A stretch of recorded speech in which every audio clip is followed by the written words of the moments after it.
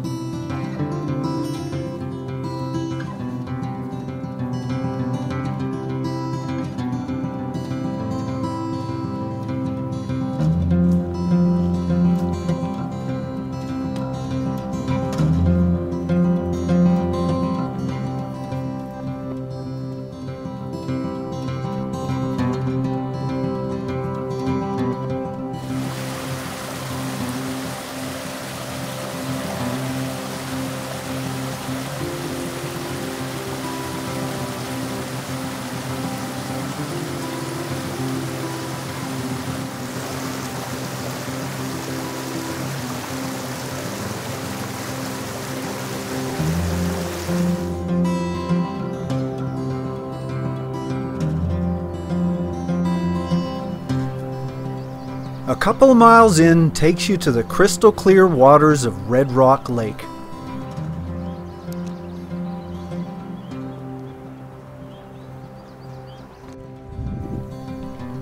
The hike to Bullhead Lake is very easy and about 4 miles one way.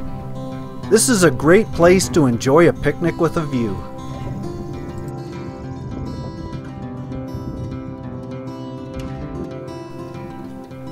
But after Bullhead, the trail starts to get tricky, as there's lots of glacier melt in the spring.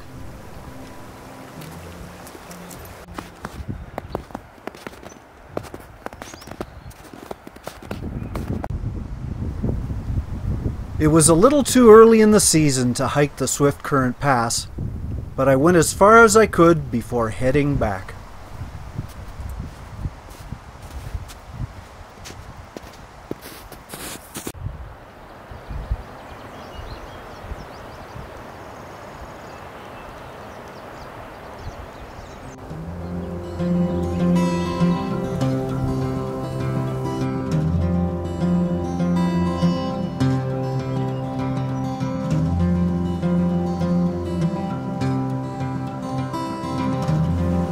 Along with a good walk and fresh air, there's one other thing I'd hoped to find that day.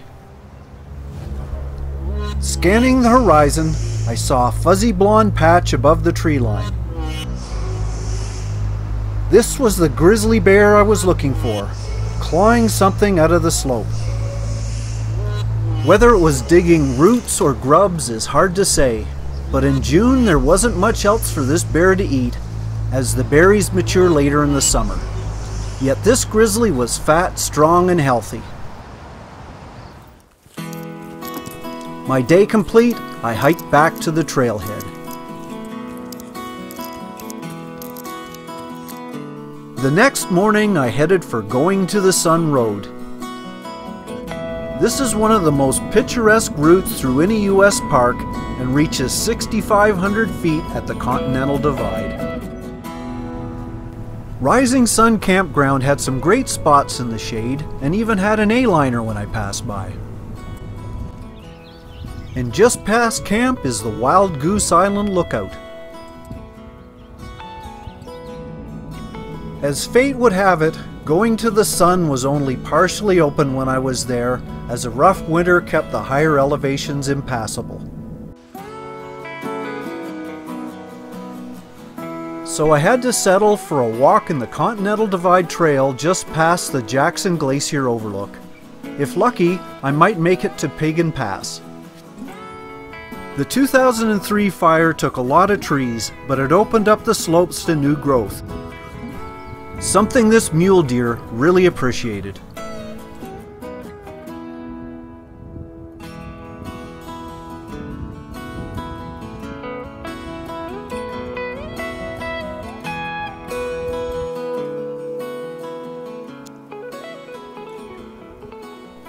But the further I went up the trail, the more difficult it became.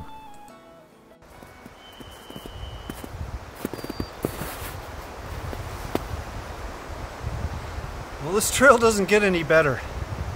It's been up, up, up from the start.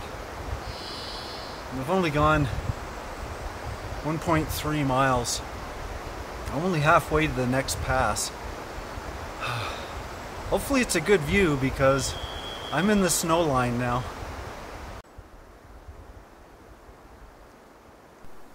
Snow is something there was plenty of and every time I broke through the crust, my boots filled up with ice pellets.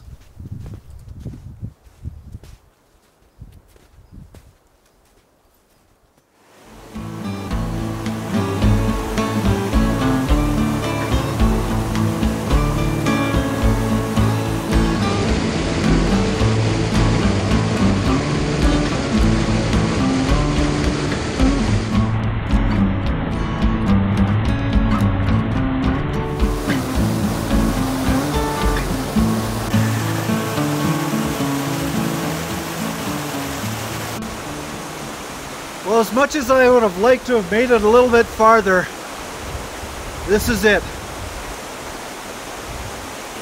2.8 miles. Snow was too much.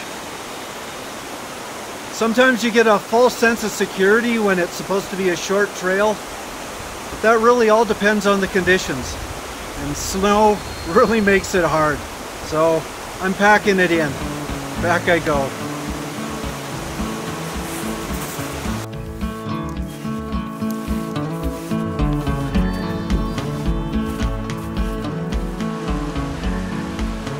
In a few weeks, the snow will melt and the passes will open up. It's all that melting snow that feeds the streams and cascades down the mountainsides, which in turn keeps the meadows moist for spring flowers to bloom. And it's those spring flowers that feed another resident, a black bear. But this was just a roadside bear that particular species that just pops up for tourist cameras. In Glacier Park, you never know when something's going to pop up.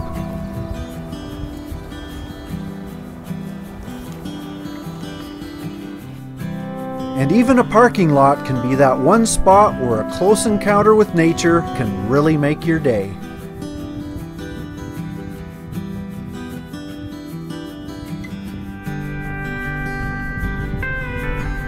The park was starting to get really busy, so I headed back to the peace and quiet of my little hideaway.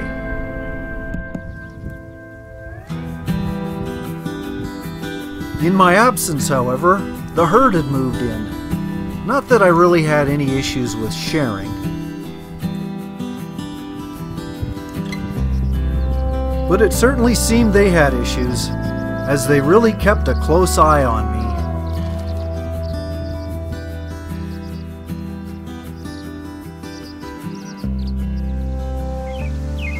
Well, as the sun's ready to set, it was a great day.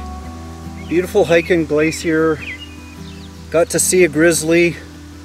Wasn't really up close, but that's not the point. I had, uh, I was determined I was going to see a grizzly today, and I saw a grizzly. So next time, hopefully I'll get an even closer picture.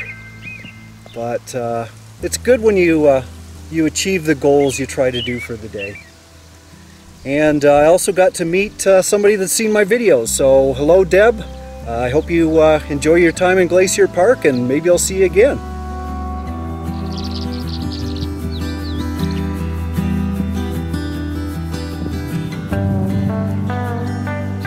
Well, I hope you enjoyed this video and please check my other ones as well. Always go where the road takes you.